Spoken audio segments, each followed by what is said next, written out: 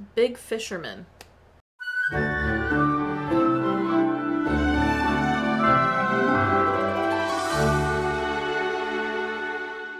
Welcome back to Every Disney Movie Ever. My name is and I'm watching Every Disney Movie Ever. Today I'm going to be talking about The Big Fisherman. The Big Fisherman is a 1959, I believe, theatrical release.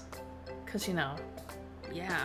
Um, and it's about Simon Peter, the disciple of Jesus, and a princess named Farah um, coming to know the teachings of Jesus and deciding they want to spread the teachings of Jesus. It is directed by Frank Borzage, cinematography by Edward Colman and Lee Garmes, editing by Cotton Warburton and Paul Weatherwax, music by Albert Hay Melody Malotte, and it's written by uh, Howard Estabrook and Rowland V. Lee. It is based off a book by Lloyd C. Douglas. I don't have a full summary, I just have like Farah wants revenge for the death of her mother against her father, and on her way to try and get that, she meets John the Baptist and then Simon Peter, who becomes a disciple of Jesus, and she kind of just like gets influenced by them and decides not to kill her dad and instead go with Simon Peter to spread the word of Jesus. Film stars Howard Keel as Simon Peter and Susan Kohner as Princess Farah. This was the first film for Rowland V. Lee in over like 10 years. It was shot in Panavision 70.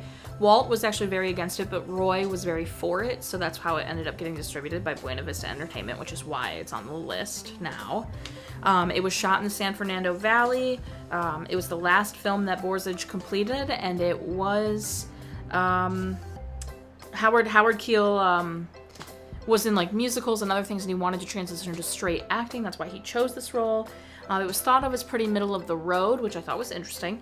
And uh, it had about a $4 million budget, and it's kind of hard to tell how much it made, but it did make 300 or $3 million in rentals. Cinematography is good. Um, pretty standard for the time. I don't have a lot to say. It feels very much um, like the kind of movie it is, very 1959. I haven't seen the Charlton Heston like Ten Commandments all the way through, but it is giving me that vibe. Like I kind of already mentioned, it seems like it might be faithful to the book because Farah does want to kill her father, who she didn't know who was her father, because her mother dies, except I'm not so sure her mother does die in this movie. I thought her mother did die in the scene. But then later, I could have sworn I saw her mother back at that palace being like, oh great, she's back. She's going off to live her life. So I'm very confused if her mother actually died in this movie. I am going to count it because I am 98% certain she died. So I'm to count in whatever, it'll come out in the wash. Um, Jesus does appear in the movie, but they don't show him. They just show his hands. Um, and I thought it was interesting because he was preaching, and I'm pretty sure it was verbatim the Bible, um, which I I did not grow up in a religious household. I know um, societies know, well, know of Christianity. So, but I thought it was the Bible was like a like a, a retelling of what happened. Like someone wrote down what happened. It wasn't like Jesus was writing it, right? So for him to be saying verbatim the verses in the Bible, I don't think so. That feels a little sus. I feel like he would have talked normally, right? Not that, I mean, it was normal for then, I suppose. Also, would he have been speaking in English? Like, it's just a whole thing, right? Like, I don't, I don't know. I don't want people to come for me, okay? I'm not trying to offend anyone. I'm just saying. It's interesting that he would be speaking Bible verses verbatim, or at least it sounded very much like it. When, you know, he also sounded so old, which I don't, I, I don't think he was old. Like, he, I know 33 is a big age, right? So he sounded very old. Um, I also thought it was interesting. Again, no one please come for me. I just don't have an education in uh, a deep education in Jesus and everything. I know the basics. Um, but I thought it was interesting. I feel like nowadays a huge thing is you believe it, it's your faith. It's faith for a reason. You have the faith in it. Um, you, there's no proof. You have faith, right? Where in this movie, it is very much proof driven. Like you believe in Jesus because he's showing you the proof of like healing this baby and um, healing this person's you know whatever and this that and the other. Like Jesus is providing the proof, for people to believe, and then they have to believe on faith after that. So I just think it's interest. I just it was interesting because I didn't realize. I knew that Jesus could like walk on water, turn, you know, water into wine, or you know, heal the lame and sick and kill people and bring them back from the dead or whatever. I knew he could do all that, like in from you know what I knew. I didn't realize he was using it to get people to believe though, which is interesting. At least that's how this movie is portraying it. Don't come for me.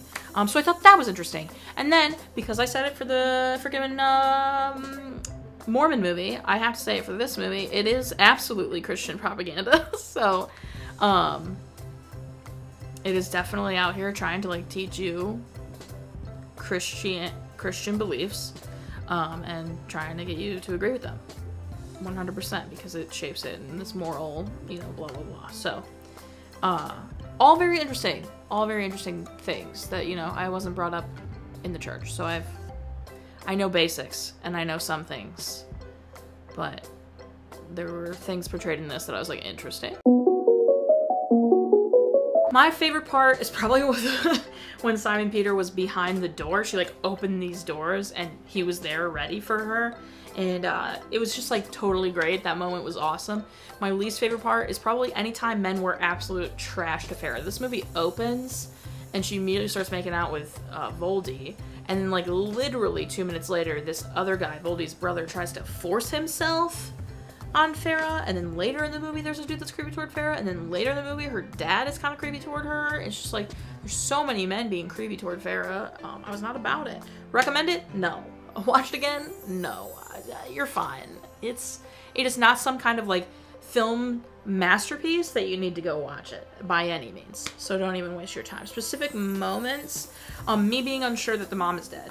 I'm I'm really gonna lean towards she's dead because I thought she died in that scene. But I saw a woman toward the end that I thought was her mom, so I have no idea. Um, the men forcing themselves on Farrah, the dad cheating almost like right in front of the mom, so insane. Jesus, like being in it and like portrayed um, without being portrayed was so interesting.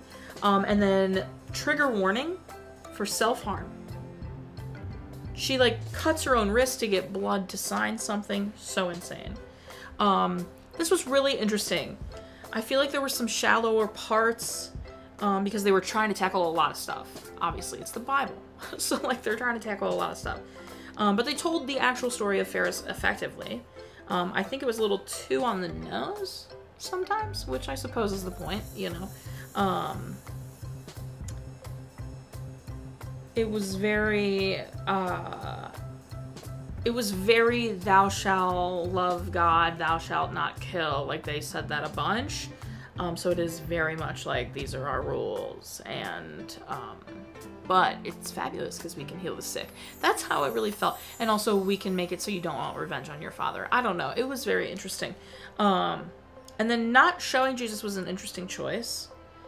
Um, but I'm I'm behind why they made that choice. That I feel like it was a good choice on the filmmaker's part to do that. Um, it did have that like classic old movie feel, which I did like. Um, but overall, this is fine. I kind of agree with the whole like it's middle of the road. Um, it is it is heavy propaganda for sure. But um, besides that, it's fun to follow um, Farrah along through what she's going through. So. It's fine. That's everything I have for The Big Fisherman. My final rating is five.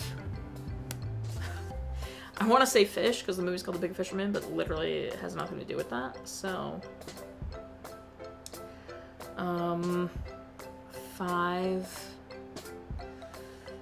Bibles out of ten. Our total movie count is. Our parent death toll is. Cry count is still the same. If you want to keep up with me on what I'm watching when, follow me on any social media. I'm out there. Uh, join Patreon. I've got a tier starting at just $1 where you get every video a week early and a coupon code for merch. This month um, is all video trivia though, so like join the $5 tier for this month and participate in the video trivia. Good time, good time. Buy merch. Merch is great. Merch is grand. Heck yeah. Until next time, comment, subscribe. I'm not in charge of your life. You are, so you do. And don't be